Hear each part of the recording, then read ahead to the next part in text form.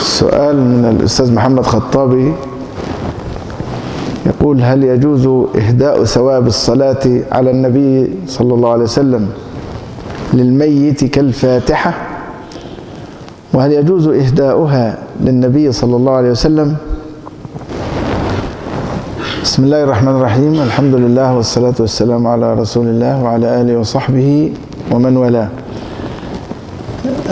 طبعا قال العلماء يجوز إهداء الثواب ثواب أي طاعة وأي عبادة يجوز إهداء ثوابها للميت وينتفع بذلك. ليه؟ لأن الموصل للثواب هو الله تبارك وتعالى.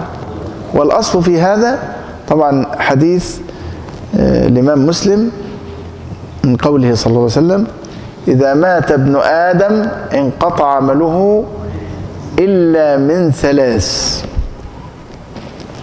صدقة جارية أو علم ينتفع به أو ولد صالح يدعو له. يعني انقطع ثواب عمله هو في الدنيا. لكن ثواب عمل غيره له لم ينقطع.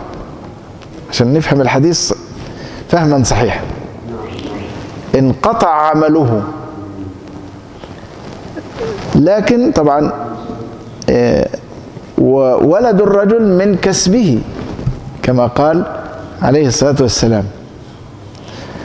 وإهداء الثواب من من غير الميت إليه أي من الحي إليه قالوا هذا جائز ولا شيء فيه.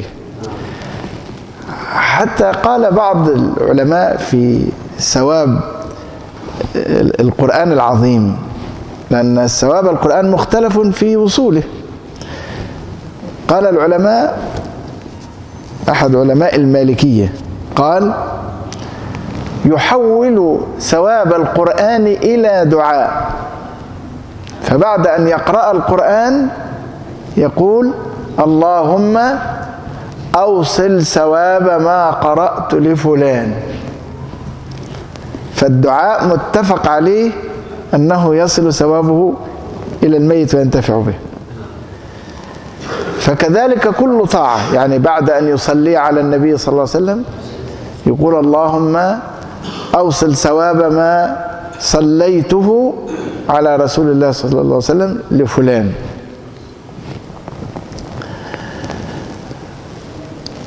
وهل يجوز إهداؤها للنبي صلى الله عليه وسلم؟ هذا من باب أولى. فالعلماء قالوا الكامل يقبل الكمال. فالإنسان طبعا لا يظن أنه يهدي للنبي صلى الله عليه وسلم شيئا يحتاج إليه لا. وإنما هذا من باب أن الكامل يقبل الكمال.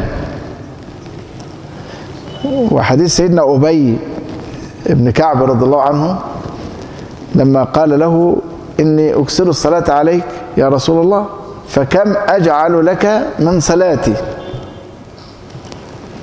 قال ما شئت. قلت الربع قال ما شئت. وإن زدت فهو خير لك. فأخذ يتدرج من الربع إلى الثلث إلى النصف إلى الثلثين. فكلما قال له وإن زدت فهو خير لك. ما شئت. وإن زدت فهو خير لك. قال إذن أجعل لك صلاتي كلها. يعني معناها أن أن ثواب أن ثواب هذه هذه هذا الدعاء له صلى الله عليه وسلم. حتى الشيخ ابن تيمية رحمه الله قال إن أبيا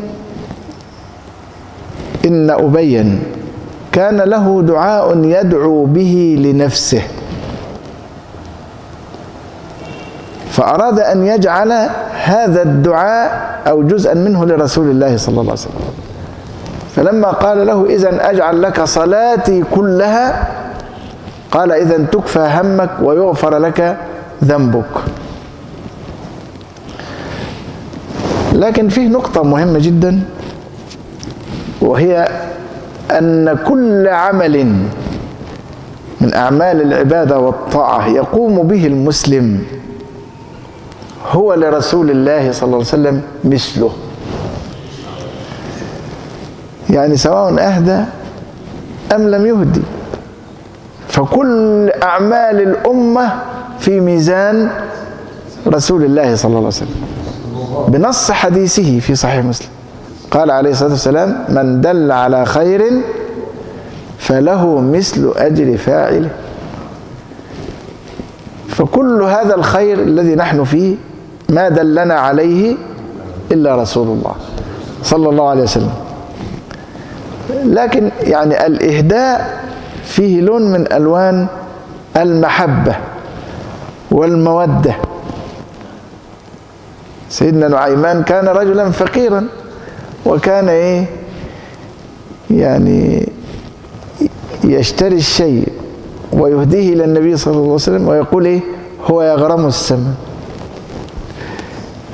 يعني يشتري العسل لأن رسول الله صلى الله عليه وسلم يحب العسل ويهديه إليه ويقول للرجل هم يعطونك الثمن. فالرجل يقعد إيه أمام الباب حتى يخرج صلى الله عليه وسلم. إما أن تعطونا العسل وإما أن تعطونا الثمن فيضحك النبي عليه الصلاة والسلام ويعرف إن نعيمان فعل ذلك فيدفع الثمن صلى الله عليه وسلم. فالإهداء له عليه الصلاة والسلام فيه إيه؟ فيه محبة ومودة. وإن كان هذا الثواب حاصلا حاصلا من غير إهداء عليه الصلاة والسلام.